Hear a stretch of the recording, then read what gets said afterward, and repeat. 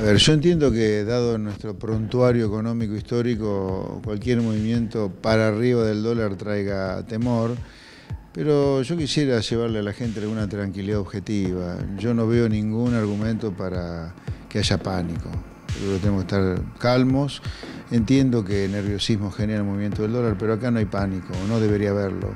No hay nada de fondo en el corto plazo que indique que esto está fuera de control. Si lo dejaron quieto tanto tiempo al dólar, a tres semanas con Cristina mordiéndole los talones al gobierno en la provincia de Buenos Aires, no me parece prudente. Y porque esto además obviamente le va a pegar a la inflación. Algo de inflación esto va a traer en el corto plazo. Puede ser, puede ser que después de un primer semestre con completa cama del dólar, este pequeña suba de las últimas semanas tenga que ver con Cristina, candidata, o con Cristina con alguna chance en la provincia de Buenos Aires. No habría que descartarlo que haya un factor político en el medio también. A ver, lo repito.